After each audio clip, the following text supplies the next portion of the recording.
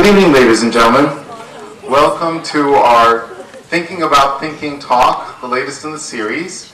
Um, tonight, we are very pleased to have with us Mr. Arthur Martirosyan, um, an old friend of AUA and an old friend of mine as well, um, from Boston. Um, he is a process technician. I like that that name, that particular uh, title better than most of the others, specifically for tonight's uh, talk, because often we think of justice as being a thing, but actually justice is the result of a process. Uh, and depending on the process, you get different kind of justice. And sometimes we forget the kinds of informal and formal processes that are involved. And tonight he's going to talk about one that's sort of in the middle, diplomacy. Um, but there are court processes, and then there are the court of public opinion processes on the other end, which are one very open-ended and one very closed-ended. And this is a middle process. Um, so I'm very pleased to have uh, this opportunity um, to bring up two things. One, um, he is our partner at the Center of Excellence, Center for Excellence in Negotiation, um, and co-founder of that as well. Um, and the center uh, director is here, Mr. Stepan Kozertian. Um, and uh, the center conducts a number of different kinds of projects, including training and research, um, and also various kinds of consultations and uh, interventions in the field of negotiation. Negotiation is understood in a very broad way as all sorts of dialogues that result, that give us results of different sorts, some better, some worse. And the way we think about them often determines the quality of the result. And with that, I turn the floor over to Mr. Martirosyan. Uh, thank you, Tom. Thank you for the kind introduction. Good evening, everybody. Actually, I prefer to come down and to be talking close to you.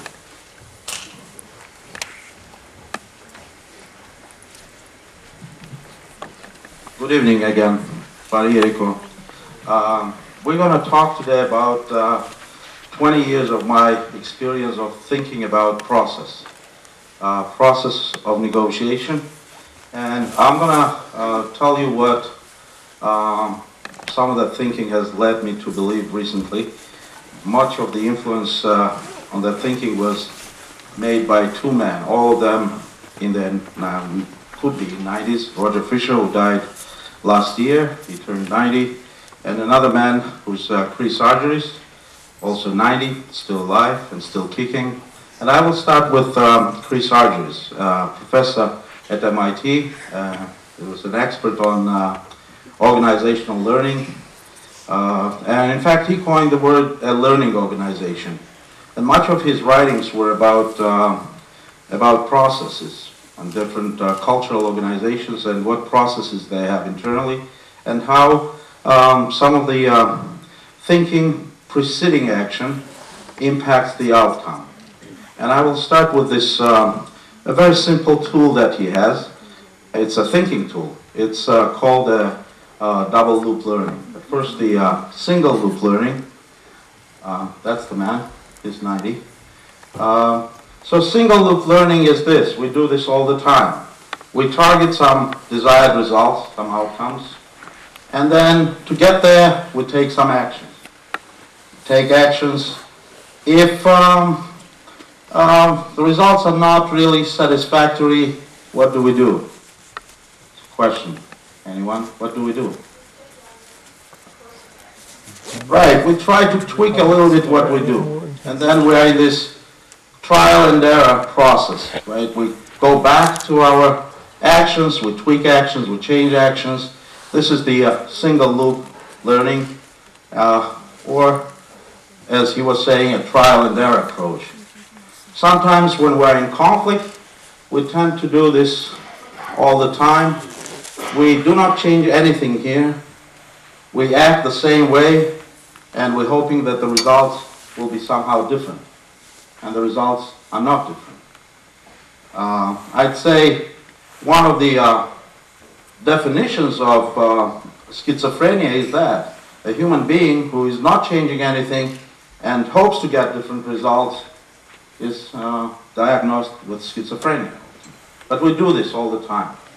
Uh, or as um, Friedrich Nietzsche used to say it's a very common form of human stupidity to forget for what goal we are doing this. And to forget why we started this, where we're going with this, and we keep doing. We are in this uh, single loop. So what needs to be done? What's the uh, recommendation or prescription from uh, um, from Chris? In a book uh, known as uh, Action Science, uh, with some other his colleagues, he described this following this quote from Einstein. The significant problems we have cannot be solved at the same level of thinking with which we created them. So you need to get a distance from the problem. You have to look at the problem maybe differently from a different angle. And Argyris uh, argues that you have to make one more loop. You have to go one more step back to your thinking that preceded preceded uh, the actions and the, uh, in fact, how you targeted the results. And before thinking, there are assumptions. We all make assumptions about the game we are in, and sometimes call a negotiations a game or a process. So we think that this is the game, and it turns out it's not. And I want to bring this um, to our Armenian reality, uh, because we are known as, um, or we like to believe that we are a very cerebral nation, that we are capable of thinking about thinking, and I'm sure that we are, and yet we also find ourselves trapped in uh, single loop learning often, and especially on issues that are so important to us.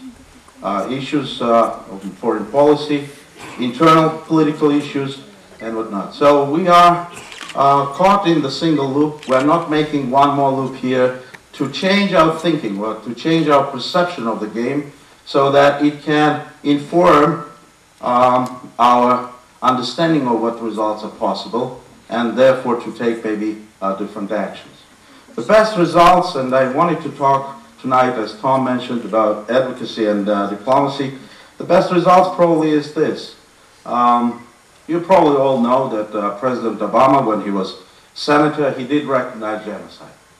We all know that. And uh, then when he uh, stepped into the White House, uh, he somehow uh, refused to do that. He was finding uh, other words, Armenian words. His Armenian vocabulary expanded to three words at least. And he found a different way of saying what it is.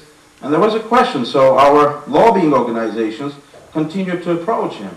And he still would not do that. Every April 24th, we're there we're asking, and he's saying, no, it's not going to be uh, genocide. So what's the problem? If we continue doing the same thing, we go to him, and he keeps saying no to us, uh, there are several things we can do. What is it the most common reaction to someone saying no to us? Especially if he previously was saying yes. What's the common? Uh, let's make a very simple rule. One person speaks at a time. I wanted this to be uh, very interactive. And to identify who's speaking, it's either me or you. You just raise one finger, and I will know that you want to uh, take on the question. So yes, please, you were first. Just say no to him. Okay, so one approach is we'll mobilize people and we'll tell every Armenian, next elections, don't vote for Obama.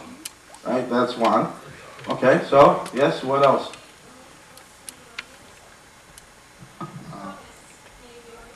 protests can be organized. We can organize protests, yes, I, I would repeat. You, we can organize protests, yes, and that's what uh, some organizations may have done. Are we getting, though, what we need? We're not getting what we need. We can protest, we can mobilize people, they may vote for any candidate but Obama, and it's still not helping us get what we want.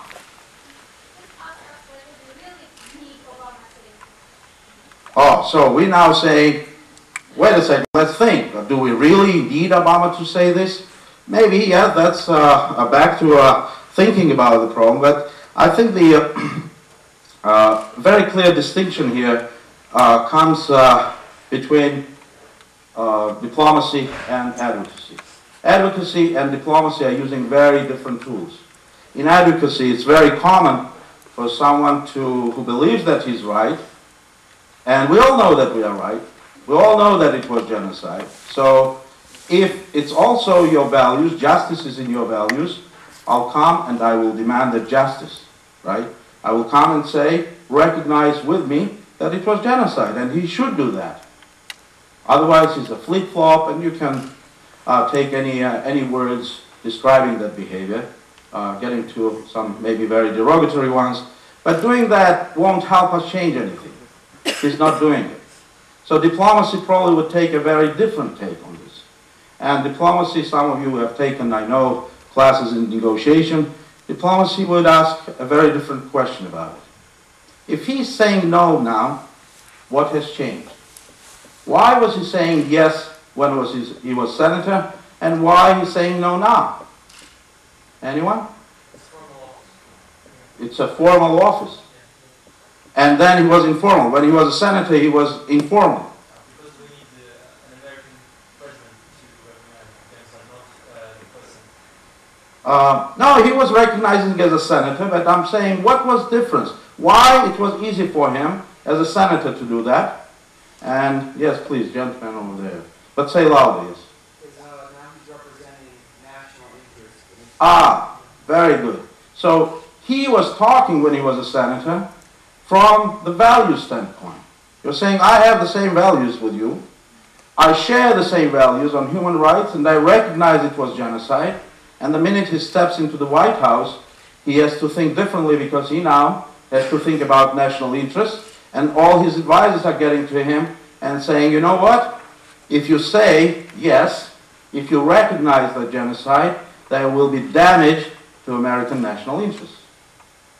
So, if we are in diplomacy, and my uh, favorite uh, description or definition of uh, diplomacy comes from Daniele Varè, is Italian diplomat stationed in uh, China, early 20th century. He said diplomacy is about having them have it our way. Just want you to think about it, right? They have to do what I want them to do. That's, that's what diplomacy is about. And that's very different from me going out and saying, I demand this. And I'm not here to analyze uh, Armenia's foreign policy in the last 20 years. I'm not here to discuss with you whether our lobbying uh, organizations are effective or they're getting there or not. I'm here to think with you on the difference between the two. And as I was thinking about it, I, I, uh, in my uh, mind, it's uh, like two arms. You do need advocacy, but it has its own place. And you do need diplomacy, and that diplomacy needs to be very vibrant, proactive, and it has to be very dynamic because things keep changing. And on the issue of genocide, and not only on the issue of genocide, we are operating in multi-party environments when we need to negotiate with many parties on many issues. So if we are not doing that, then advocacy is, seems to be the only tool. It's like having a hammer, and then if you uh, that that is the only tool you have, any problem looks like a nail to you, right? So we go out and we demand, and it's not working. Yes, we can reconsider. We can say, Obama, you know what? We don't need your recognition anymore. But do we or we don't? Some are saying yes, we still do. And if we do, then what should we do uh, mentally? What would be the process, thinking process that would allow us to understand how to go about it? And we'll talk about uh, that today. Um, I want to do that even as an exercise. We'll get to it uh, in a second because I want to share with you uh, something else. When we talk about the Armenian genocide, I have not met yet, maybe there are, but I haven't met yet a single Armenian who's, uh, would say that we don't need recognition. Maybe there are, I mean, I don't know. There is one hand going up. Uh, we don't need recognition. Uh, then maybe uh, that's my circle, but most people, if not all in my circle, also believe that recognition has to come with another R, which is reparations. And only then there should be reconciliation. So, and this makes a lot of sense because if you look at what's been done, if you look at some objective criteria for us, how others have done this, if you look at the Israeli case, or into the case uh, that is very often uh, uh, brought about by some European diplomats who, who say, you know what, you have to turn the page. Okay, it was in the past. Think about future. Don't think about past. Let's go forward. Uh, and I think my, and, and then if you ask them, what's this based on? What's your criteria? They'd say, oh, remember, Germany and uh, France, two world wars, lots of losses. They turned the page. But that's ersatz history. That's very primitive history because what happened after World War II? What happened after World War II? Did Germany recognize? They did. Did they pay reparations? Yes. And only after that, there was reconciliation. The same with Israel. Did Adenauer first recognize? Yes, he did. Did uh, Germany pay reparations? Still does in some ways. And if you look at the um, Israeli budget in 1956, and you look at the uh, amount of uh, they were getting in reparations, it would be probably uh, in uh, today's uh, money, it would be probably Armenia's one year's budget. you know, for decades they were paying that amount. For decades. So it was a very critical piece then. And yet, we are pushed to think that we somehow can start from here. Let's start from reconciliation, and maybe then there will be re recognition, and maybe there will be reparations. It's a very strange path. I don't have any objective criteria that would support this path. So if um, most of us believe that somehow this needs to happen, except one person who was raising hand in the back, um, uh, then the question is, how do we go about it?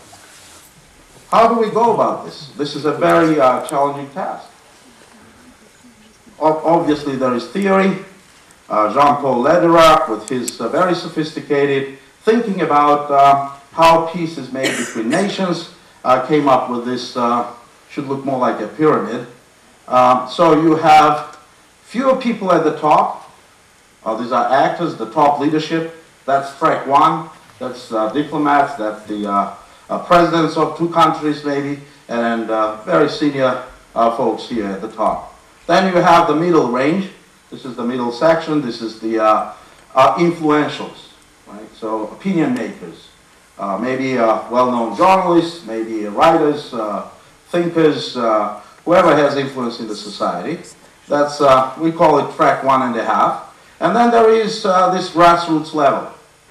And Lederach has argued that if you want to build peace, all sorts of activities need to happen all, all three levels.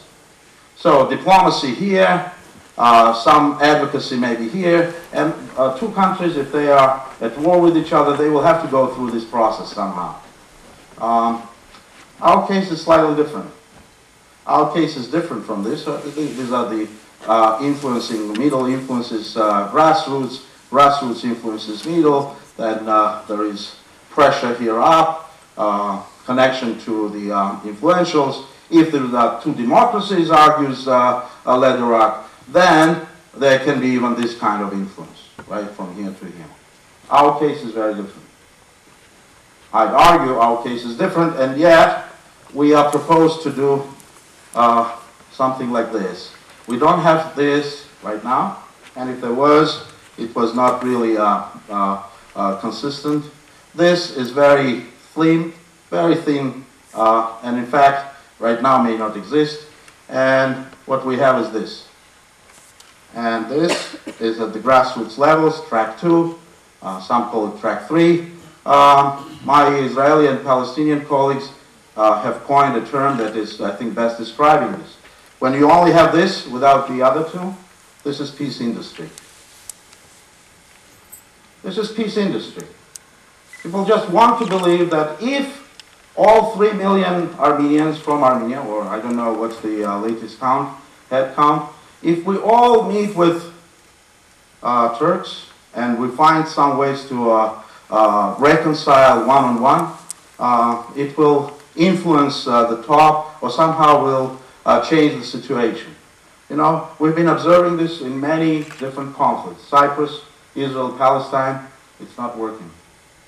And it's, it shouldn't. Why should it? Uh, all Armenians meet all Turks, it will be only what percentage of the Turkish population? Maybe, maybe 5. So there is an issue of scale, right? Uh, all Armenians have met uh, with uh, Turkish uh, counterparts at the grassroots level, all fine, we listen to music, we uh, uh, talk about everything but uh, the genocide. Uh, it all goes well, but it doesn't take us anywhere. It doesn't take us anywhere because without, back to Lederach, uh, without um, these three, this one alone would not work. So why is this continuing then? Why this is happening? Why we are uh, kind of stuck here? Why we're not rethinking this approach? And what's missing? Why we would not have the vibrant uh, diplomacy that we all probably are craving for? What's, uh, what, are the, what are the major barriers to this? What are the major barriers? Anyone? To uh, the major barriers to have a process that would uh, look like what uh, Lederach is prescribing. Like he's saying, you need all three. In our case, we don't even have we don't have these two, so there is no diplomacy uh, active right now. Uh, I think Minister Nalbandian said that there is no uh, dialogue, no nothing is going at this level. This level is very slim, and I'm asking, so what are the barriers? Yes, please. Let's say it loud, so I, at least I can hear. I will then uh, repeat it. Please. Well, I think uh, it's a lack of presence in uh, the American government because it is the second most studied genocide in the world. So, I mean, we have the academic intellectual, we have. Uh, we have a lot of ethnic groups and leaders. Right. Big diaspora, but we don't, leaders in respective sectors, they're only in our, But what is the barrier? Why it's not happening? we don't have enough Well, one barrier is, from the, from the Turkish side, is Turkish nationalism. No, no, no. Let's uh, let's leave Turks uh, alone for a second. Okay, let's let them let them be where they are. I'm asking about us, ourselves. What is the barrier? And we had several hands. There's one hand in the back.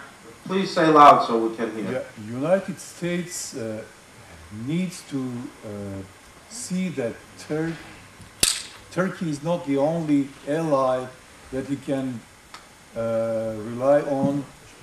Maybe Armenia Right, but that's not the answer to my question. I'm not asking what United States should be doing. I'm asking what are the barriers. Right, please. Well, when you're talking about top leadership, first and foremost, I think for leadership should have a legitimacy and, uh, and a support of its own domestic people. And when Ah, okay. All right. All right. Right. Well, let me translate what I heard from you into the language, negotiation language. And what you're saying is you need to have an internal negotiation first and a legitimate kind of um, process that would allow you then to negotiate externally. So, and this is a very um, uh, well-known theme in, uh, for any uh, uh, students of negotiation. You have to negotiate internally before you engage externally. And negotiate internally, in our case, what that would mean. We have a nation that consists, at least in my part, my interpretation of it, is that it doesn't consist only of us uh, here in Armenia. It consists also of people who are in diaspora and in Artsakh. So we have four, uh, we have this uh, triad, right? Really, uh, the nation is uh, not just here. It's uh, it's this big uh, phenomenon that is spread all over the world. And what is missing for this uh, phenomenon of vibrant diplomacy, and for me probably there are examples. We can go into that, but um, an obvious example is how Israelis handle their issues, right? Where they need national consensus, sufficient national consensus. Not everybody would agree to that, but most people would share the same uh, idea of what needs to happen. So, what justice may look like to all of us. Uh, there may be still one hand going up saying, I disagree with this, and it's okay, because we're talking about sufficient consensus. And this is the gap, this is a leadership gap. Uh, we, our leaders have not yet done that. The nation lacks sufficient consensus on one of the most critical issues. And it needs to happen. If it doesn't happen, any diplomats go out and engage in negotiations. The result, they do it secretly or they do it semi-transparently. They come back and there will be many people who will be saying it was a sellout. It was a sellout because the red lines are not drawn and we don't know what is it that we really want.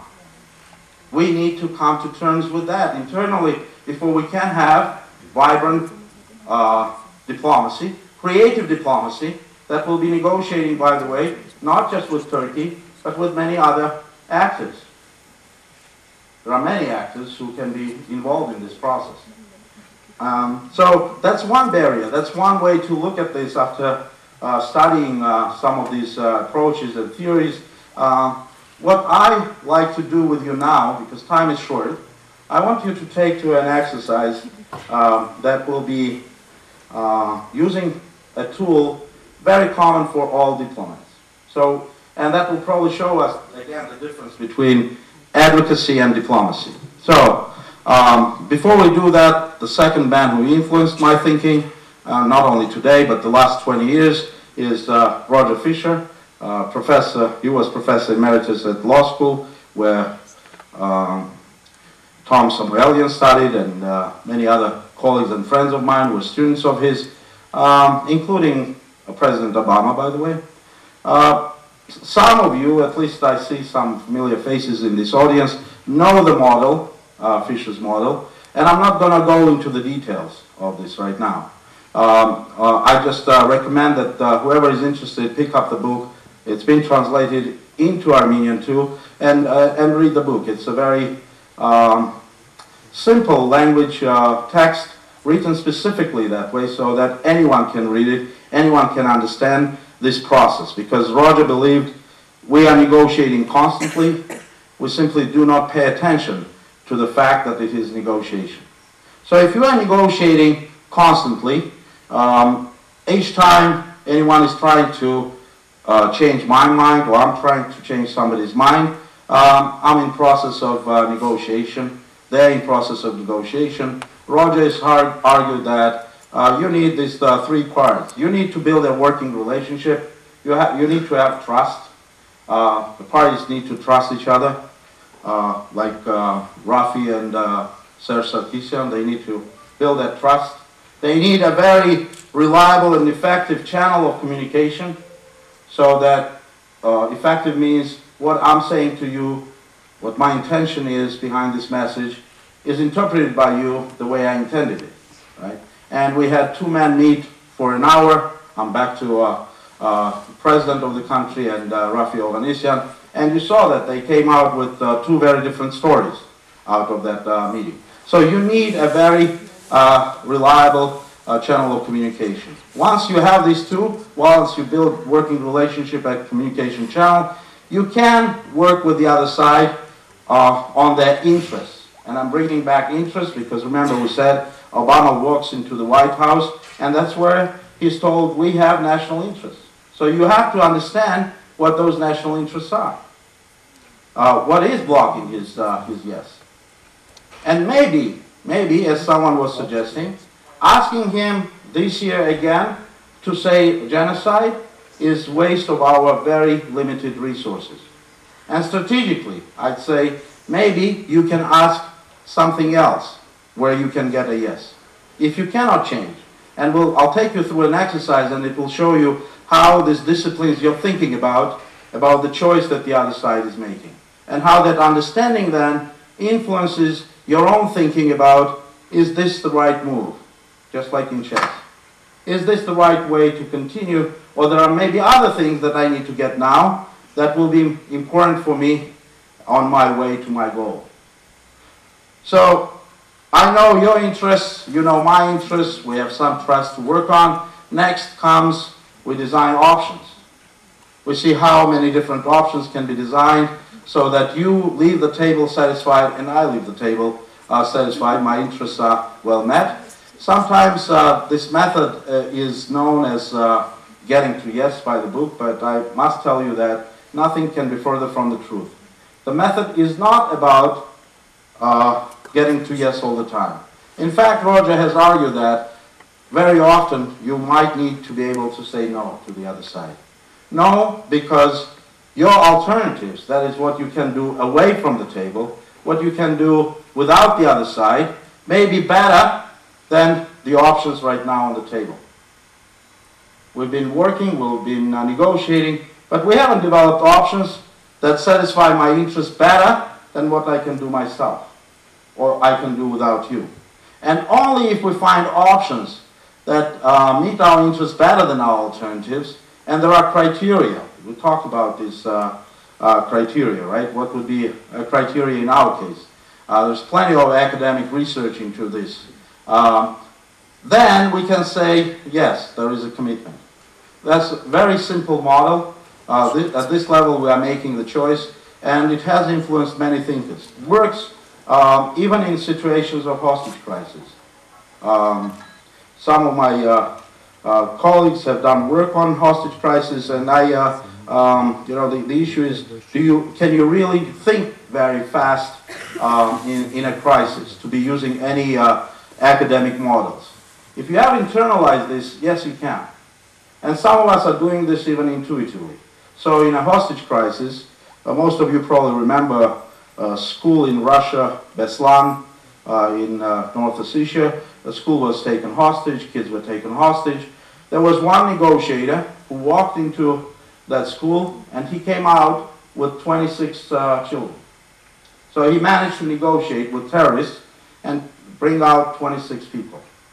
A question to you, what do you think he told them? Why did they let these kids go? Said yes rather than no. He said yes Rather than no.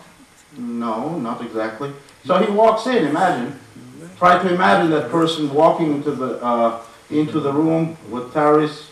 Uh, someone is, uh, I guess um, he managed to uh, make them believe that his aims when entering the room are not something against their aims by keeping the children.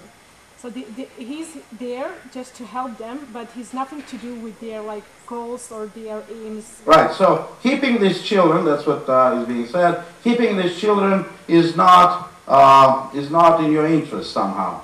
Uh, that's what probably he said. Um, yeah, in fact, that's very close.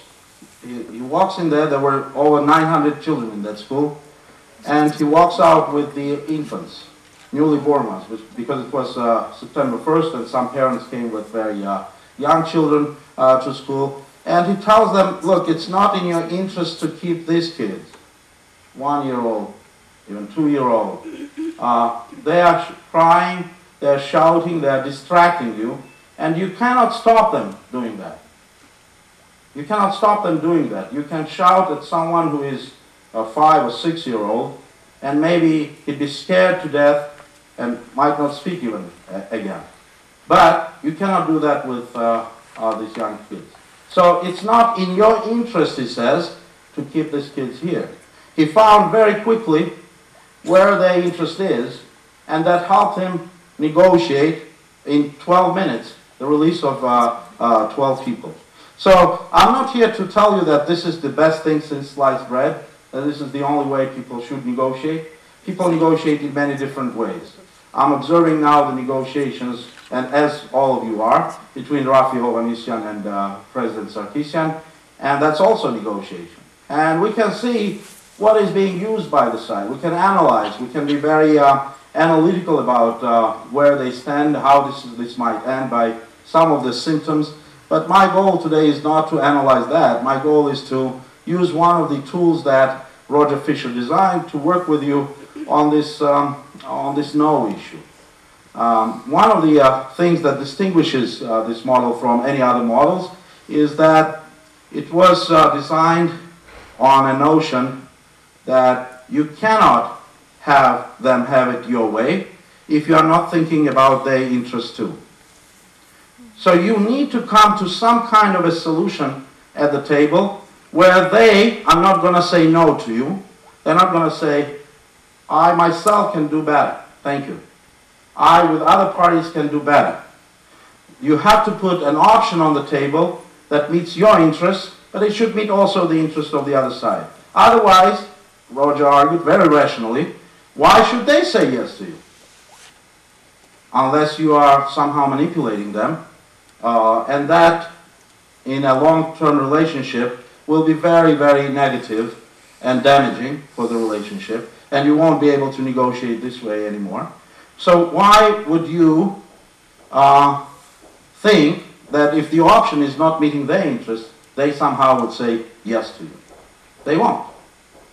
So this requires very creative thinking, and the model allows this to do. Because before we get to this uh, decision making, here we can look into so many different options. Many options. I'm not committing to any one of those. I'm just looking into how that meets my interest and meets your interest. Um, so I'm not going to go again, as I said, to the uh, very politicized uh, negotiation that goes on right now. I want to go with you into this exercise because the tool itself probably speaks uh, better about the uh, difference in uh, advocacy and diplomacy than anything else. So uh, the um, concept that you need to have in mind when you're using something like this is empathy. It's very important. Empathy is not sympathy. Empathy is my ability to put myself in the other side's shoes and think the way they're thinking and see the choice the way they're thinking, they're proceeding right now. Um, and sometimes very difficult for people to do that. Uh, I have a hope. If we have uh, this many chess players in this country, we should be able to think empathetically. Because a chess player does that. He has to think the way the other side will be thinking, right? That's what they do. You, otherwise, you cannot be successful in that game. The same in uh, negotiation. You always need to think what will be their move. If I do this, if I say this, how this will play out. How are we going to uh, find a solution with them if I'm doing this. Um, so empathy um, uh, is uh, one thing that is taught almost at any diplomatic school. Diplomats know that. Here is position one. This is how we see the situation. Our side sees the situation this way.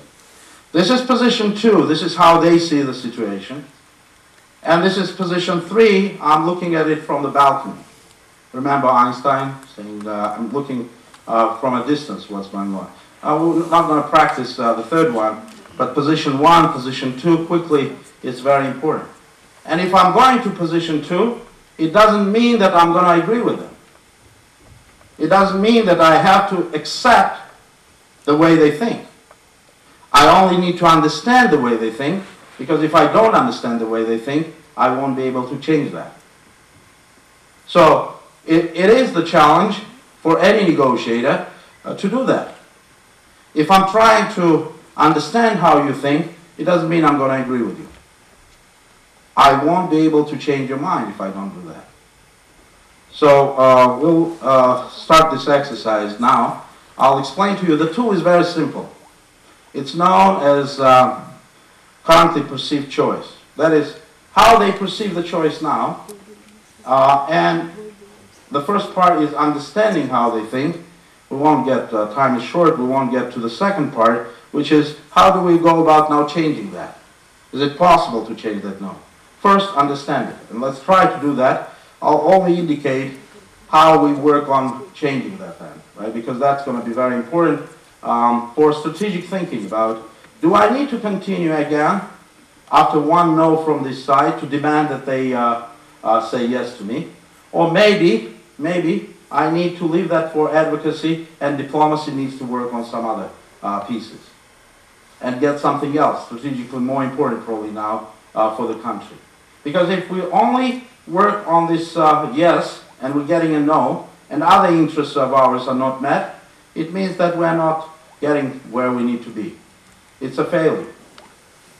You need to be strategic about what you, what you do. So, as I said, it's very simple. Choose a decision maker. It has to be a person. You can't be saying United States. You can't be saying uh, France or some country. It has to be a person. And there is a reason for that because when you limit it to person, it's easier to analyze. There may be many different uh, uh, takes in, uh, in a country, many different uh, interests, but it's very important to define uh, the decision maker. So first, it's the decision maker. Once you wrote here who the decision maker is, the second is, this is the tricky part. It's not what I'm asking them, it's how they hear what I'm asking them. Right? I'm asking them to recognize the genocide, and they hear it slightly differently. I need to put myself in their shoes and to produce how they hear it now. Okay, do you have any suggestions for the exercise? By the way, there are many uh, probably parties who are saying no to us. It should be difficult from some ways to, uh, uh, to choose, but from another, we can continue with Obama if you want, or we can do something else. Any, any suggestions, objections? Can we write here uh, President Obama? Is that fine? Would be interesting as an exercise because I want you to uh, engage in this. All right, so it will be decision making President Obama. We approach, we is, I don't know, some lobbying organizations, advocacy groups, Armenian groups. They approach him uh, and they asking him, would you recognize formally the Armenian genocide and use the genocide word on April 24th, 2013? And he's hearing it, very, it differently probably. How he might be hearing it. Anyone wants to try to put himself in the shoes of Obama? We had two hands go up. Uh, please, and then we'll hear. Maybe he it in the following way. Uh, why these people? Maybe he he hears it in a different way. Maybe he may. I'm guessing. Uh, Yes, we're all guessing, right? unfor- yeah. Okay. Unfortunately, um, he's he thinks why these people believe that Armenian national interests are above American national interests, or something like that. Right, any other takes on this? Anyone who can really put himself or herself in the shoes of uh, Obama? Uh, do I want any problems with Turkey? Okay, okay, all right, Tom. Basically, the. They want me to accuse Turkey of genocide? Are they real? Okay, yes, and I like that because you need to think almost the way the other person is thinking. And right now, when he's saying no to us, he's thinking very negatively about it. There has to be some negativism, and we'll put it in uh, uh, quotation marks. Uh, I like that. It's um, getting very close how he says, what words he uses. So if I'm Raffi Hovannisian negotiating with uh, Serge Sarkisian, and I'm asking him to do something, and he's saying no to me, I need to put myself in his shoes and almost be able to talk the way he talks. Right? Because that is empathy. And empathy, again, it doesn't mean that I agree with him. I just want to understand the way he thinks. All right, so uh, we put it up. It's President Obama. The question is, uh, that's very neutral, uh, Stefan. Will you recognize the Armenian genocide? He, and I want that in quotation marks, uh, much stronger word. I, I guess it should be something like that. Probably it won't be exactly the way it is.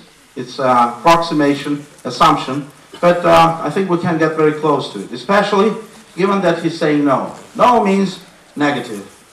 There's got to be some negativism. We sometimes say, should I now recognize the Turkish genocide against Armenians? Are they real?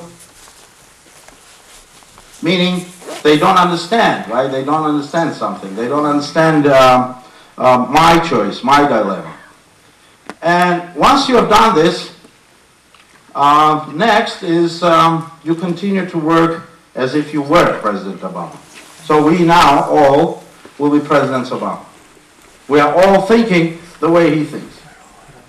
And he thinks that there are consequences. If he says yes, there are consequences. And if he says no, there are consequences. And right now, he sees more positive things happening from his no than from his yes. Obvious. If he's rational, he should be.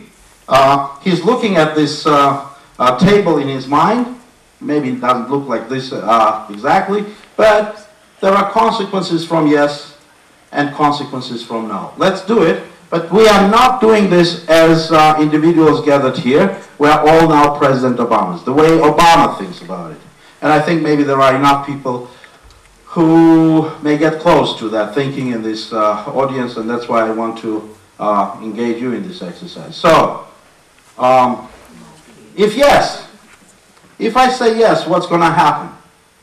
And one by one, uh, please. If I say yes, uh, my nation will accuse me of um, getting mixed in, involved with another uh, international dispute that we have nothing to do in. We're already involved in too many international disputes or wars. Okay, so I. If I say yes, we're getting into, oh, don't make it too long, make it short. We're getting ourselves into some trouble that we don't want, somewhere, somewhere out there. Right? That's what I'm hearing? Okay, close. Uh, please. Uh, will damage relationship with Turkey. Jimmy. Right. This will damage our relations with Turkey if I say yes. This will damage our relations with our ally Turkey, uh, our very important strategically ally Turkey. It will damage what else? I just would like to add uh, to this sentence that Turkey, which is much more important partner in the region rather than Armenia. Right. So we will damage uh, our relationship with a more important ally, uh, Turkey, than Armenia. Please. Will uh, our ability to operate in the Middle East by using Turkish airspace and not being able to conduct military operations. Right. It will damage our um, military and geopolitical uh, interests. Okay. Anything else?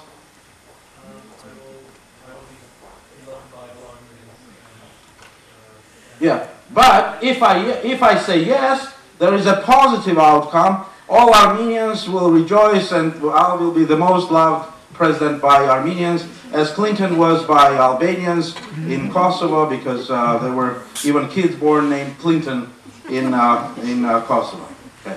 So there will be, Armenians will be naming their kids after me. It's a positive outcome. Assuming you think that way. All right? Uh, it's, uh, it's very common when we do this exercise. Uh, sometimes people get into this mode. Oh, this is not like him. He's not thinking that way. Right now, I want you to suspend your judgment. We will write it. We will be able then to correct it. We will be able to think uh, uh, through this. Okay, so there might be something positive. I take a moral stance. I look uh, good not just to Armenians, but to, uh, uh, to the entire world, uh, because I stood on values, right, uh, which is uh, maybe, uh, maybe important for him. Well, we, that's an assumption right now. Anybody else? What else might be?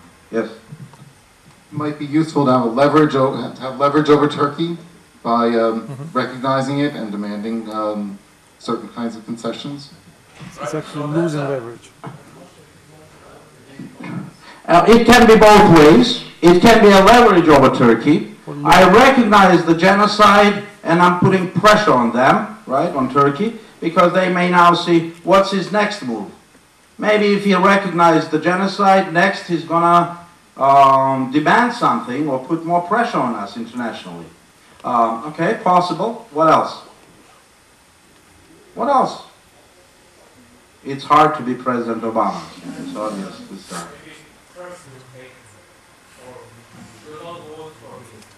will not vote for him. Yes, luckily they they're not voting for him yet. Um, uh, I, I, you mean in Turk? Oh, Turkish Americans, the community in there. Maybe a concern. uh, Yes. Dismissive.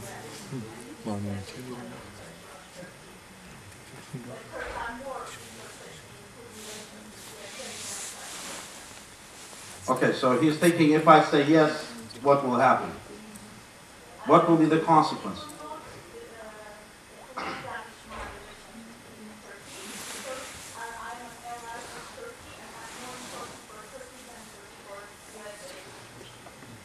Okay.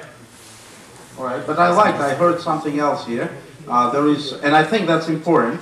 Uh, I might lose uh, the support of the uh, Jewish community here, right? Possible?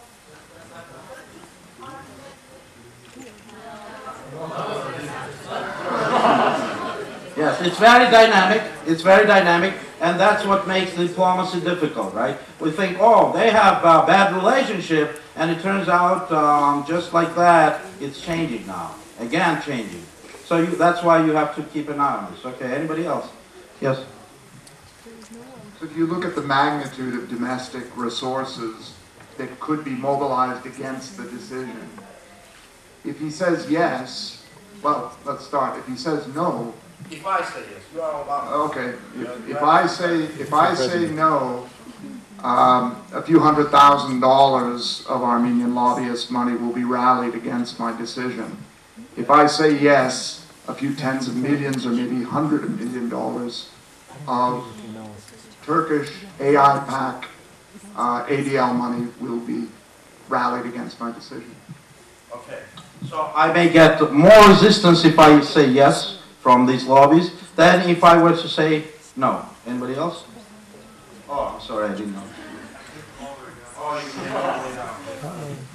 You also open uh, a precedent for the issues of genocide recognition for other genocides committed, namely in the United States territories against Native Americans. Okay, maybe, yes. Uh, I'm setting a precedent of sorts. Okay, I'm recognizing the genocide of Armenians, and I have my own constituencies here who might be uh, demanding the same. Oh, we're getting more active people now, uh, and there is only one microphone. Uh, so there is more, and I need someone to help me uh, with the mic. Okay.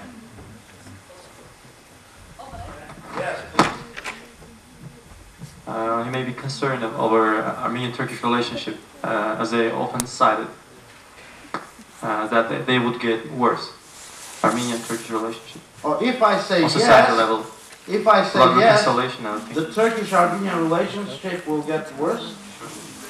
Say more about it. Yeah, because they always cited uh, when they refused to, to recognize the genocide.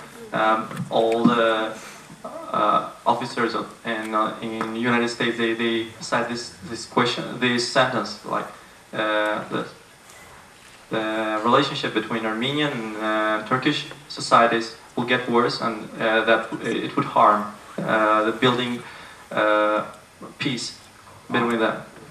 So you, you're saying that Obama might be trapped in that thinking, remember I was saying, let them go through reconciliation first, otherwise if I do recognize there won't be a reconciliation. He's trapped in that thinking, you? That's, uh, that's what I'm hearing? So let them first reconcile, and then there will be recognition. Um, well, I don't know. I don't know. It's an interesting um, assumption if he's thinking that way. He's trapped in that. Uh, okay, uh, but um, let's let's put it up because uh, it may be when you work on how to change this, it may be uh, an easy one to change uh, the way I think about it. Yes, please. Yeah. Uh, there is one more responsibility that United States may uh, take on this. That's the court of the history uh, responsibility. I mean, how come that United States uh, in 1915 and 1920 uh, did not w- was not active enough to help Armenians Oh. to avoid the genocide? And there is a responsibility there. Okay, so for a second, I just want to stop this for a second because this is what happens uh, in this exercise. We sometimes forget that we are in the mode of empathy. We are now thinking the way Obama thinks. Not the way we think Obama thinks, but the way Obama actually thinks. And if we think he thinks um, there is U.S. responsibility, U.S. historical responsibility for genocide prevention, hmm, or we want him to think that way. Or does he think that way? Uh, I don't know. I'm not saying that you are not right. I'm just saying we have to be very clear uh, when we do this. Is this um, him thinking that way? U.S. historical responsibility for genocide prevention. We have to know about that. He If has to he know about that. Yeah. We want him to know about that, but does he? Uh, okay. Uh, one.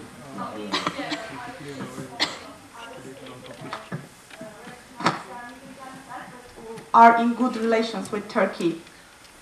Oh, okay, so, uh, let's, um, uh, if yes, let's look how others have said that yes, and preserve the, uh, relationship with, uh, Turkey still.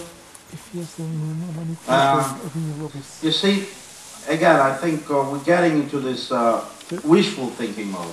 We wish he were thinking that way. Uh, I'm not saying it's not happening, by the way. I don't know, but uh, not expert enough on Obama to say that. Uh, but I just warn you uh, about the most common mistakes made in this exercise, in the thinking exercise. You have to um, know the other side well to be able to put yourself in uh, their shoes. And we're now uh, President Obama. We're thinking about consequences of yes and no. Anybody else? Oh, Tom, you want?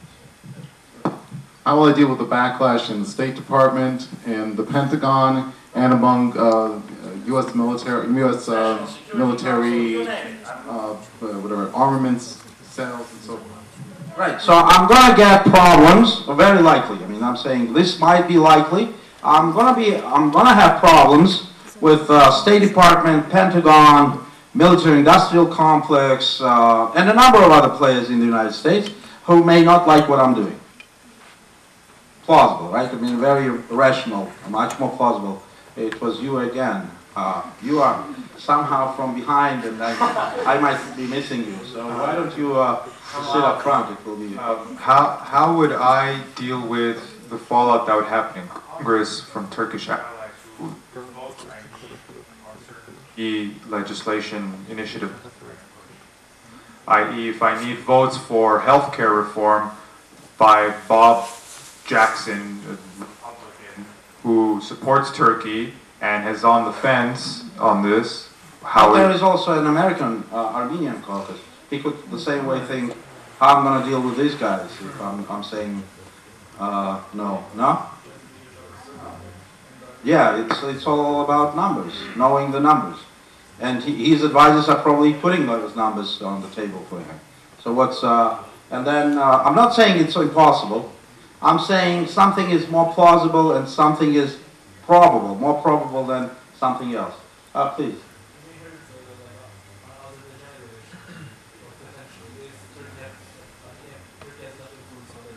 Ah, okay. So we might have problems not just with um, uh, Turkey, but Azerbaijan.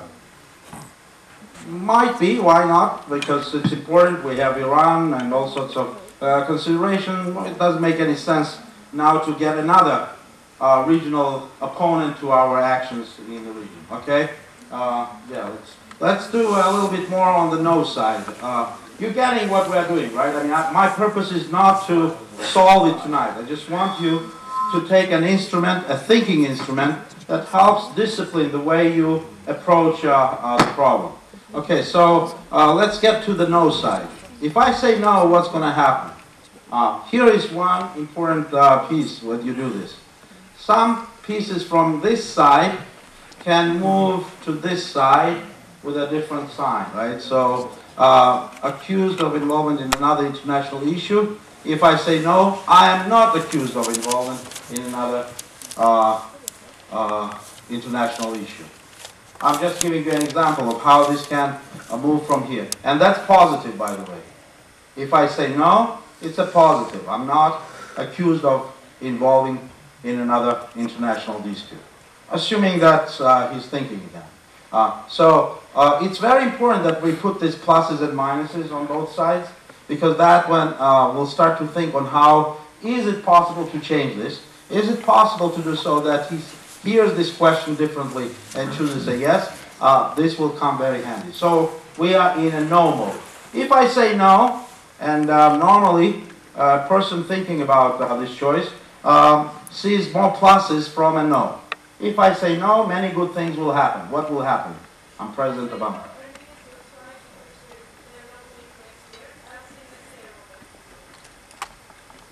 Uh, I'll have more time. I can always say uh, yes uh, later. Something like that.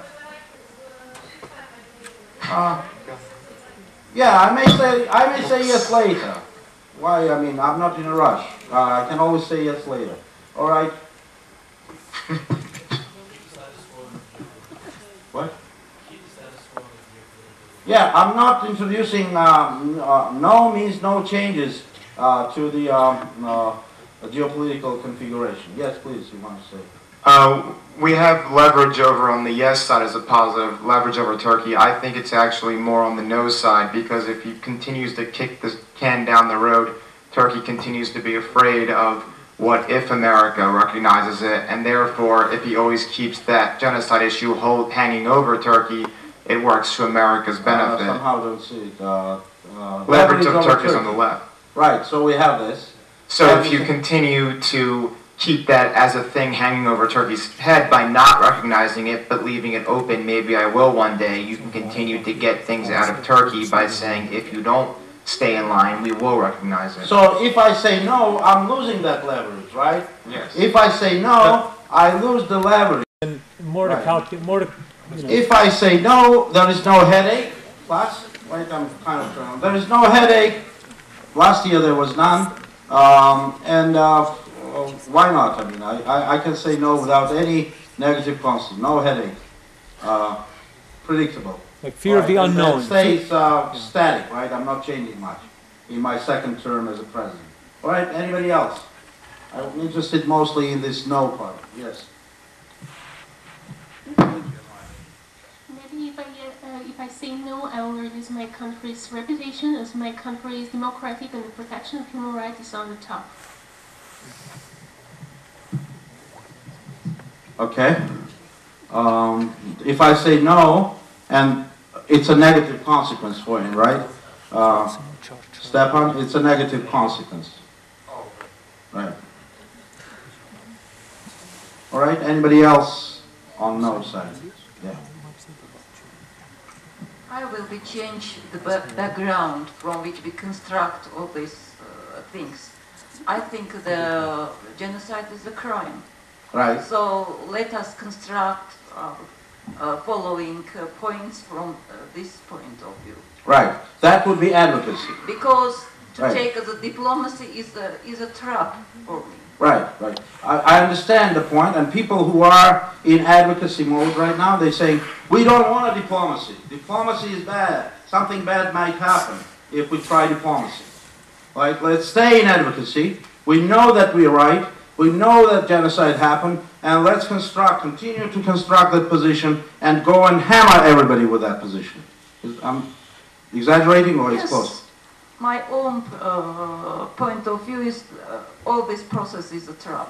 Is a trap. It's, it's a good thing to do, but we have to think about the crime issue also. Uh, uh, and I started with this, by the way. I'm not saying we should not be doing advocacy. It's like having two arms. You only need to know when you're using advocacy and when you're using diplomacy. And these need to be coordinated well enough so that you get what you want with two different, very different tools. So it's not, I'm not saying forget about advocacy, let's get only diplomacy in place. You need both, and we'll get to it. I mean, because even if I'm in advocacy, I may get some insights from this kind of exercise. Maybe my advocacy needs to be restructured somewhat. Because um, uh, it's also resources, right? It's all about resources, strategically resources that you're using. Please. Um, if I say no, no one's gonna notice. Mm, yeah, no consequences, no, uh, no headache, okay, right? What else? Yes, Mr. President. If I say no, then I will probably damage my reputation and legacy as a president who did not honor his pledge as a candidate. Right, so it's a moral issue for him, right? Moral. I, I will be uh, remembered as a flip-flopper on another issue. Right? I, uh, I didn't. Uh, it's, it's negative. Uh, what else? Uh, one in the back, and then I'll come to you. Please. Good relations with Turkey will strengthen uh, my, uh, will help me in furthering my aims in the Middle East through Turkey. finances of Turkey. If I say no, if I say no, my uh, relations with Turkey will be uh, good enough so that I can uh, uh, play a role of a mediator between them and Israel, for instance. I can. Uh, I have lots of things to do with uh, uh, Turks and Israelis in the Middle East. I don't want to spoil it. Uh, so we had this in the yes side somewhere. I cannot see it right now, but it it it, it comes here with a, a plus, right? I'm getting. Uh, if I say no, this is a positive consequence for me. I'll take two more, uh, two or three more, because as I said, uh, hold just a second. I'll come to you. Another positive consequence for the USA can be that if I say no, nothing would happen because nothing happened during the last five years. Yeah, we already have that. Uh, thank you. Unless it's something different, something new. Um, Obama might be thinking if uh, he. No, no, no. This is not the right way to start, by the way. Okay. Obama might be thinking is not right. You are, Mr. President. You are Obama. Well, now. if I say no to Armenians, I'm saying no to the uh, allied Russians. So I'm preventing the case that uh, Russia can get this from it. Oh, okay. So if I say no, I'm saying no to the allies of the Russians. okay. So Armenia is an ally to uh, with Russia, and therefore they deserve no. I'm trying to uh, close. Okay. Maybe I don't know. And and here is um, uh, someone was talking about traps, and in thinking there are always traps. One of the traps here is that we don't know for sure how President Obama is thinking. Right? These are all assumptions. So what does a good diplomat do with these assumptions? Check. What is the process next? Next thing to do? Verification, exactly. He says, okay, can we start talking to the administration? Can we check with them if this is really something that he's thinking right now? If this is really important for them? Right? So you are trying, as a negotiator, you are always trying to work against the uh, asymmetry of information. Right? There is symmetry of information. These are all assumptions. We don't know for sure. If you go with this as conclusions, you are trapped. You are trapped. But you may not be able to verify all of those. Right? What you do next is you try to see how many pluses and minuses and which ones of these are most heavy ones. Right? They, they, they, they have very different weight here. Uh, obviously, uh, there are some pluses from yes. We uh, collectively put some pluses from yes here. But as you can see, there are many minuses. Many minuses in this column. And there are some pluses, many pluses from no, and some minuses here. So when you use this tool, next level is to think which ones are most important ones for that, for that person who's making this decision. So then I go into verification, and I say this is no longer assumption. In fact, uh, this, this is true. Lose Turkish election. I don't know if that's an important one.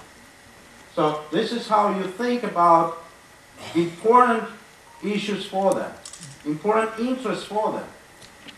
Right? They, we here have some interest. These are interests the way they are perceived by the Obama administration today. How do you do verification? How do you do verification? A good question. Any diplomat, anybody studies diplomacy in this audience? We have. So how do you do that? Yeah, how do I verify? I have this as an assumption and I need to verify it. So how do I do that?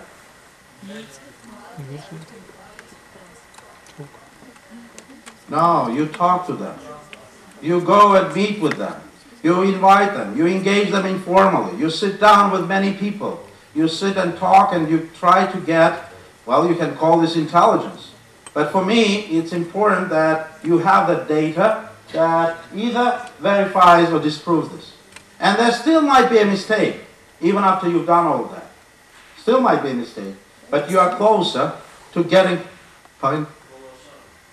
Oh, Paul Assange, okay. Call Assange. We can call Assange, okay. Uh, we, we, WikiLeaks, right. Uh, that will be uh, another thing. So, yeah, and uh, no, I'm not going to go into the, um, uh, the diplomatic process of how diplomats do that. But uh, all I'm saying is once you got into this, it's, um, uh, you are halfway through. You already understand which ones of these after you rank them and verify and rank them, and you say, let's assume uh, you are doing the second part right now, you are ranking. Which ones of these are most important, you think? Put yourself not uh, as uh, uh, Armenian audience here, but as Obama now, looking at this, you say, which ones are the most important ones? Here, of yeses, the, the heaviest ones. Oil. Uh, uh, you will be arguing uh, till morning Looking today to if I let you do this. So we're not going to go that way. You just say your opinion and we're not going to argue. We will just uh, listen to what you have to say. Yes, which one? The second one, damage relations with like Turkey. That's the. Damage relations with um, most important uh, ally Turkey. Um, okay, so uh, I would. You can do all sorts of different uh, uh, scales and rank this very differently, right? You want to understand what's more important for uh, for Obama, and once you've done it, once you've chosen several of these, you may look at this and say, "Do I have the resources to change this?" How would I work? What would I need to do for him to see this differently? How would I need to work with him so that this plus leverage over Turkey becomes more important than other things? For instance, because I want the pluses in this column to be heavy. And I want some of the minuses to be, uh, if possible, even eliminated from the uh, list, if possible. And how, how would you do that? What would you need to do to change some of these perceptions? These are perceptions. right? So what would need to happen? There are things that you can do, and there are things that are beyond your control. You can say, uh, for instance, uh, I'm going here, um, right, I have, um, where is the, uh, uh, flip-flopping president? Yeah, I don't see, uh, uh, the, uh, military-industrial complex or, Oh, okay, backlash from power. Oh, in the yes vote, it didn't translate here. Okay, so um, if, if I'm thinking about that one, can I really change that? Can we really change that as a nation? Probably not. And it will stay there. I don't know. Then I will be asking myself a question, what would need to happen, right? And I'm observing things might be changing fast. And if I see that that is changing, that also informs my uh, decisions. But I know now what are the things that I can change.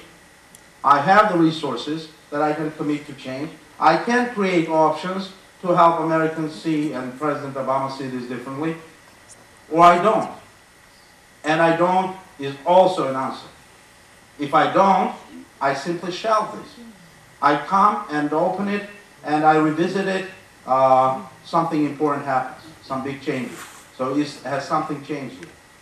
But if I look at this and I say, uh, right now I cannot change, he will be saying no to me. I understand why he's saying no to me. What shall we do? Shall we continue to ask for meetings with him and say, we have come, President Obama?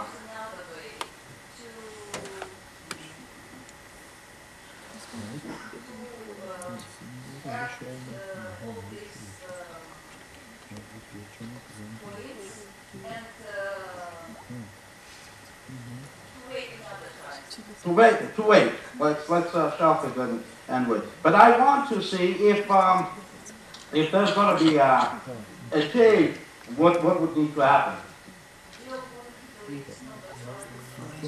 Oh, so we need to wait, or shall we go and knock on his door? It's, uh, it's March now, April 24th, and say, will you say this? Right, so if I understand that it's going to be a no, I might say, I'd go to him with uh, different things. I will go and ask other things that I've analyzed and I can see it's easier for him to say yes. And I will say to him, Mr. President, I understand that you have hard constraints. That I understand why you cannot say yeah. I think I understand why you are saying no to me because I see these consequences from yes, negative ones. And yet, there are things that you probably can do. And what are those? And you have to go back to your national interest You have to look at the options that strategically will help you, step by step, as you said, move in the right direction. Because if I were to review what happened. Uh, if I were to review what has happened in the last couple of years, I only see missed opportunities. So if he's not saying yes to us, we will mobilize protest, we will tell him that we are not voting for him, and we will uh, probably, uh, probably will uh, uh, not go and talk to him anymore. And probably they won't want to talk to us anymore. Because uh, they lost face, there is no way for us to do some face saving, and maybe it's uh, just, uh, what, what is it that Armenians are going to say? They're going to come and say, please recognize the genocide. But we know what they're going to say. Say it again. It becomes a ritual, right? So it's a ritual. We go, we get a no, we get angry, uh, we vent, and nothing changes. Okay? Well, the reason why you're assuming that you can't actually change the status quo is because you're only taking into consideration advocacy and diplomacy. But there are other ways of actually coercing states and governments to do things such as, for example, Okay, thank you. Thank you. Uh, I knew that was coming. Um, yeah, well, you may or you may not. Or you may get even uh, worse things. May. Uh, and, and since you touched on this one, if you look at how our history, and there are people here in this audience who know this better than I do, our history, the evolution of our history, of our response to this, right? The immediate response to the genocide was uh, what? Was revenge, right? It was revenge, and it's understandable. You're in pain, you don't get the justice, and, and you get people who were ready to, to revenge. And then we have a hiatus, and then we have people who say, we'll go back, we'll bring the issue back by terrorism, right? Uh, and obviously, I think it didn't work quite the way they were hoping, or you think it did? I mean, it brought awareness on an international Right, right. So uh, it brought awareness and probably many uh, could be many bad consequences, especially given now that we have a state of Armenia, and you don't want to have a state sponsoring terrorism for whatever good causes that is. Um, all right. Yes, please. Is it a comment? Are we moving now to uh, general comments, or are we still with the tool? Uh, I'm for the third. Oh, you want to argue against Yeah, terrorism? No, I think uh, we'll leave it out. Okay, argue. that's, Just that's fine. Support, Um, not argue. Uh, yeah, I think, uh, yeah, maybe there are many other tools, uh, but um, we are looking now into advocacy and diplomacy. And I want to say again, I'm not here to say advocacy is bad per se, that we should stop doing it. We should understand where it's most effective. And what are we getting with advocacy, and what kind of advocacy we need to advance uh, our causes. And uh, where diplomacy should be more effective. And I think diplomacy can be more effective than it has been. Again, not evaluation of uh, foreign policy of Armenia in the last 20 years. I hope someone will write an academic text evaluating what has happened and what opportunities have been missed in 20 years. We don't have anything like that, right? I haven't seen uh, anyway. Uh, but the point is not criticizing or looking into what opportunities were missed. The point is understanding where the most important barrier is. And in my mind, I'm just sharing this with you. I didn't come to uh, give you a prescription. But from seeing how others have been successful in this, the most uh, critical barrier in my mind is the lack of that very consensus. Where we don't know on a national level, on a sufficient consensus on what do we want. And then there can be a discourse on how people want to get what we want, and there may be differences of opinion, and maybe some people will be saying terrorism. I hope the majority won't take that seriously. Uh, uh, and if we do choose, we will be still choosing from the two, advocacy and diplomacy. Uh, because I cannot see, I mean, if, you, if we're talking about uh, the genocide issue in general, there are probably uh, three approaches to this. Right? How can we get all of it done? Uh, maybe by war. Maybe by war. You, uh, you get lands back by war. That's been, that's been happening historically. Uh, you can wait for the enlightenment to kick in. So we have more uh, Jamal Pasha uh, grandsons and others who will be coming with the recognition. You continue to work on uh, track three, kick into track two or track one and a half, and waiting until uh, Turkey will come to a different position. And the third one is negotiation. And negotiation is not just directly with Turkey, again, because our issue is not just with Turkey on the other side. It's negotiating with multiple players. And if it's negotiation, then we need to think differently about the way we were thinking about this uh, dilemma. So what needs to happen for diplomacy to be at the level that we need it? How can it be done? What is the, uh, what are the tools that um, our diplomats uh, need to use more to be more effective? How can they be more creative about designing some of the uh, options in persuading uh, various parties? I have, I see many hands, and that means people have comments or questions. Uh, I think we have uh, time for some questions. We started a little bit late. Can we take uh, uh, back 10 minutes that uh, we wasted in the beginning? Yeah.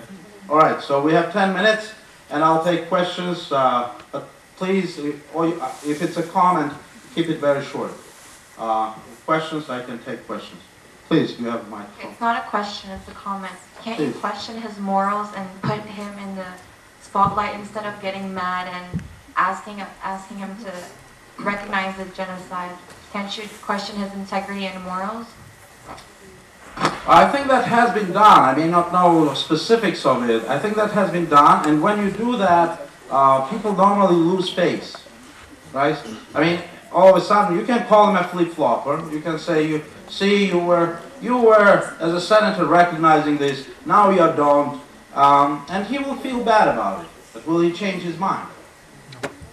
Uh, will he change his mind because of that? Well, some, some people think yes, some people say no. In most cases, uh, it's a no. Because in politics, in politics, unfortunately, uh, people tend to put uh, interest above moral. And that's unfortunate, but then that's the world that we live in. That's the realism. Pardon? If, if, yes, if CNN starts its morning program by saying, President Obama, by the way, forgot to recognize the genocide every day, maybe, I don't know, but it's not happening that way, not, not yet. Uh, please, questions, yes. Yes, please, questions.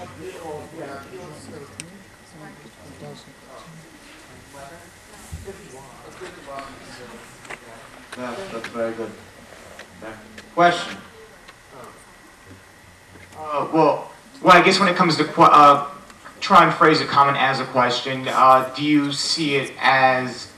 So we never really got to the. I guess maybe the core of it is how do we make Obama see it in his interests and the United States interests to recognize the genocide or do something in Armenia's interest? I think you know at this point trying to just beat the dead horse of Obama say genocide that's hasn't happened and it probably won't. But if we had a consensus like you're talking about, that perhaps our goal is okay, get the border, the blockade opened, and Armenia have certain rights to the Black Sea or, or things along those lines.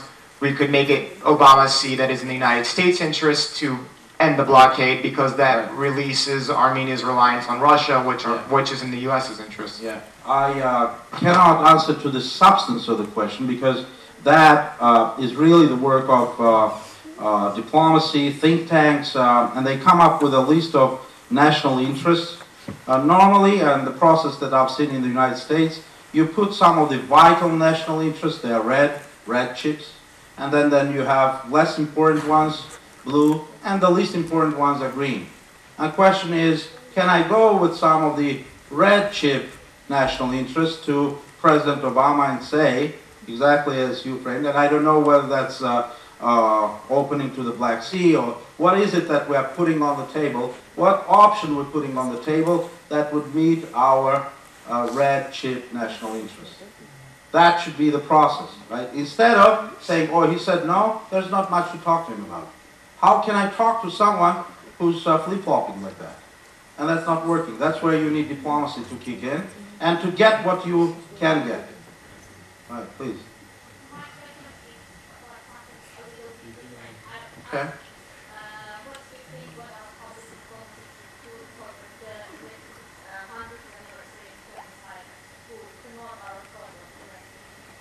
Okay, that's a question for three talks in this series. Um, uh, we can start it now, uh, of course, but uh, I think it's a, it's a big question.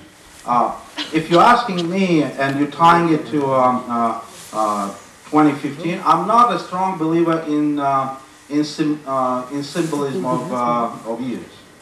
Right? And I, I mean, someone will have to uh, show me what's going to be different in 2015 from where we are today, that things will change uh, dramatically. So, or, or, or you're saying that there is this symbolism and people want to hear more about it. We do not need to use the opportunity to stress it. Why the stage to act? It's an opportunity. And I think, yes, we should be, uh, but we should not have the expectation, that's my answer. And we should not have an expectation that somehow miraculously uh, 2015 is going to be the year of uh, recognition by uh, Turkey, unless we do something in the, uh, in the uh, two years that are left. And,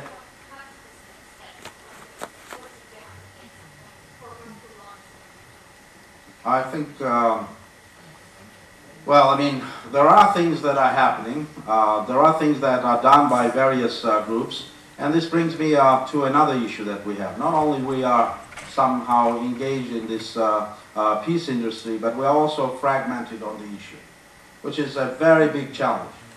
Right? There is no, I mean, maybe there is some coordination that I don't know of, but um, it's, it's very fragmented right now. And many people have thought about many different way, uh, ways of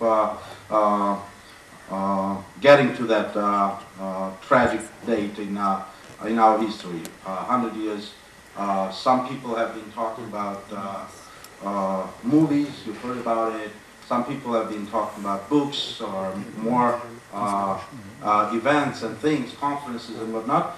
I think that um, the best uh, the best answer to uh, 2015 would be if today our leaders were to turn to this issue of building this consensus. And if by 200, 2015 we as a nation could say our sufficient consensus is this. This is in our national interest. This is what we want. This is why it's fair, criteria, and this is how we go as a nation after that. That would be, I think, the best statement of it, in my view. I don't know how others see see this, because I'm looking into not just process for the sake of the process, I'm looking into how we are removing barriers in that process that will help us uh, work more focused on, on the issues uh, that concern us. Uh, and if you're asking me for practical things, uh, I think we need to sit down. I have some things in mind, but I don't think it's uh, appropriate probably this, uh, uh, to use this time to uh, discuss the, that issue. All right, please. Not on terrorism again, please. right. The first one is why is it so important for President Obama to recognize the genocide if we've already had Ronald Reagan recognize the genocide and nothing has actually changed? And my second question is, in order to actually engage in diplomatic negotiations, you need to have leverage. And what does Armenia have? Churches, apricot, chess players. Uh, uh, there's, in order to actually negotiate, you need to have leverage. And Two uh, very important things. Uh, a, we didn't do this exercise. This was just an exercise. I didn't uh, imply that we're going to go now and start working on changing uh, President Obama's mind. We just wanted to see how the tool is used. It can be anybody else there, right? It's just an exercise. Uh, and you may be right. Do we need Obama to say it if we have Reagan and many others who have already recognized? I don't know. I'm not going in that direction. On the issue of power, and, and you are uh, in the realist paradigm, power does matter. And there is uh, hard power, there is soft power, and as you were enumerating Armenia's power, I was hearing more on the soft side of things, right? The chess players, apricots, and uh, uh, whatever else you mentioned. And we, you, we do not have hard power, and you're asking me, how do you negotiate? So it's a very important question for any negotiator. There is a symmetry of power. I go out to negotiate. I am the weak side. I don't have enough uh, leverage, as you were saying, or I don't have enough power, military or otherwise, hard power. How do I negotiate? I think the uh, uh, most uh, simple answer to that question is you do that through building coalitions. you build coalitions. You try to uh, leverage and get the breakthrough where you can. You analyze uh, uh, the whole game and you find a way where the uh, coalition will help you uh, get the breakthrough in a critical point. But it doesn't mean that you have to give up and say, oh, we are weak, what can we do? We cannot negotiate. On the contrary, I think that Armenia uh, can negotiate and Armenia can be in the process by, again, using different coalitions, building uh, maybe uh, coalitions that will be not uh, forever, but on that particular issue, uh, so that we are negotiating and getting what we need to get. Um, easier said than done, but I assure you that even very weak country like Iceland, uh, in military terms and military power, was able to stand against mighty Britain. The cod was. Fish cod, cod was. It's history. It's, it happened. And they did that through coalitions. They were able to do that. And if they were able to do that, and many others were able to do that, we should be able to if we manage to get ahead in the thinking game. And that's, uh, that's what we are doing here. We are, we are a nation of thinkers and we need to be thinking creatively about these things. All right, I'll take one more and we'll close. Yes, please. Oh, I'm sorry. There's a lady. Yeah?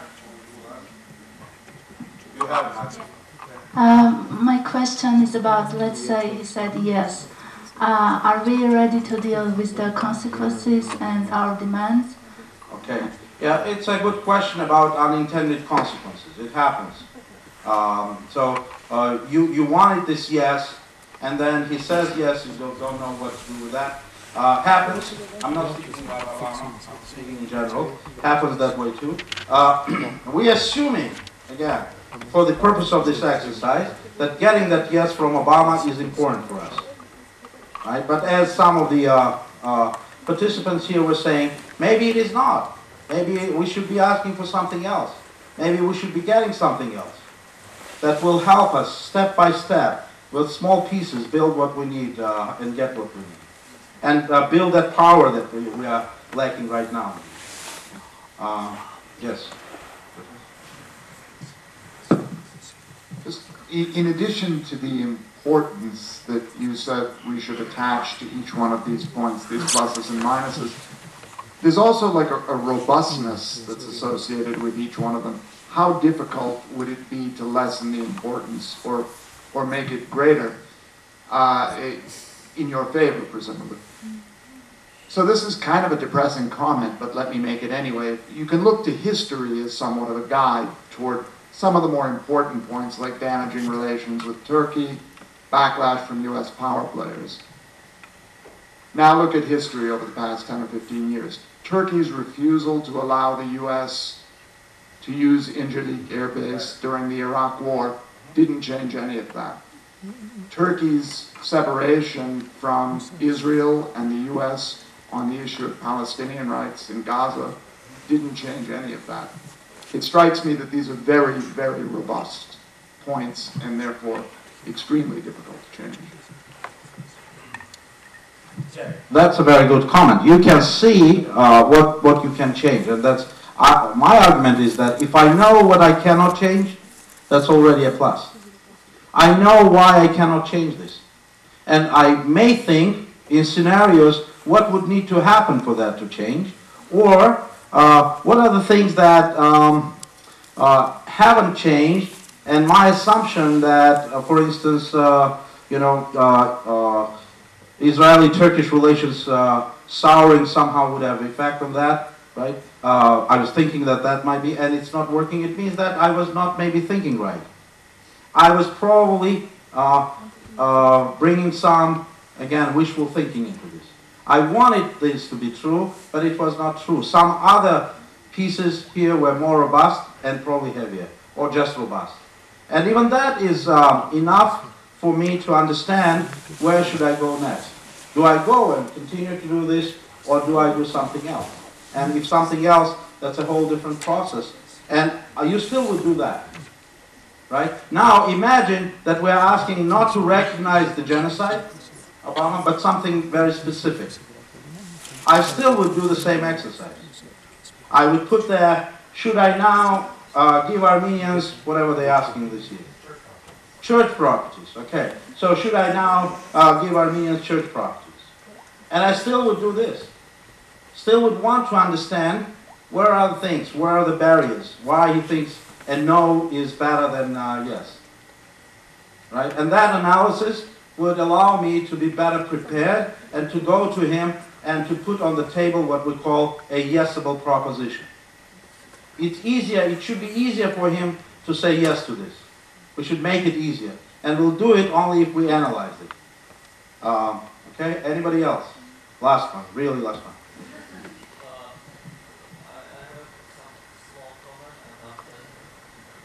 How small is small?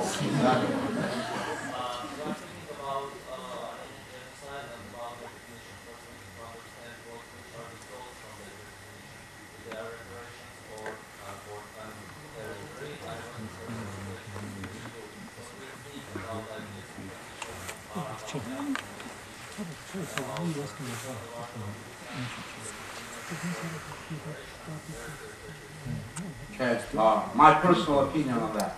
Yeah, you can, um, uh, it gets, uh, it, it- it's not, I mean, Papian, uh, a diplomat, uh, I, uh, I know him and I think that he was, uh, doing fine as a diplomat. Uh, he's not, he has now chosen more advocacy mode. So it's not a diplomacy, it's advocacy, which is fine. We need to raise awareness about, uh, about this. People have to understand that uh, this was uh, the process and where it was stopped and why it was stopped. All these are very important.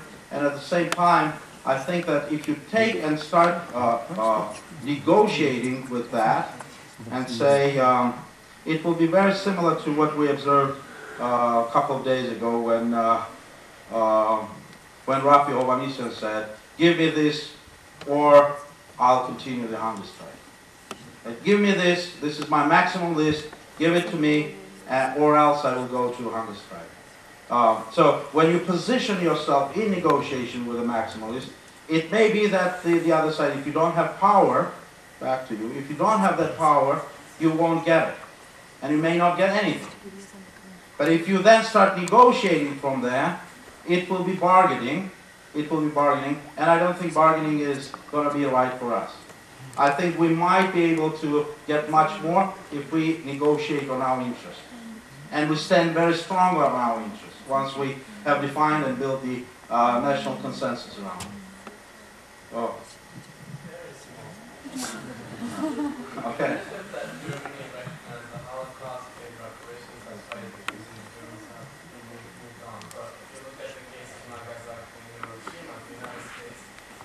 Accepts the fact that the consequences of the military losses were atrocious. However, they actually view that those two nuclear attacks as the key moment in ending World War II, as a victory. So how come the United States and Japan managed to move on without really paying reparations and so on and so forth? Well, the very short answer is Japan lost the war. Okay, uh, that's the very short answer to the question. Um, yeah, well, they did and they didn't. They managed to get away, say, right? They lost one and they started another one right after it, and that one they they won, and that that was uh, that's uh, that's a very different case. Uh, yeah, it's uh, if you're looking for some uh, moral or uh, issues of fairness in that, there is none of that. Right? There is none. Unfortunately, there is none, and that's why I'm kind of recognizing the limits of uh, value-based uh, foreign policy. I wish it were, but it is not. It's very hard, realist paradigm, and sometimes you can uh, you can see these differences, uh, right? I mean, uh, you recognize Kosovo, and Raffi Hovannisian is right bringing that issue up, right? He's saying you recognize Kosovo and you don't recognize Karabakh. How come? You, Russia, recognize this. Um, Abkhazia and South Ossetia, you don't recognize uh, Karabakh again. Good questions, but uh, this is not diplomacy. Because we know why they are saying no to us. The question is, how do you change that no? Not just saying that they are wrong by doing that. Because anyone can say that they are wrong. Anyway, I think uh, we can, uh, I saw a couple more hands, but we'll stop it here because uh, the time limit is uh, important for me and for everybody who's here. I would like to thank you all, and I hope this, uh, this was thinking about thinking, and uh, if nothing else, you will have some, uh, uh, some thinking about uh, uh, advocacy and diplomacy. Thank you very much.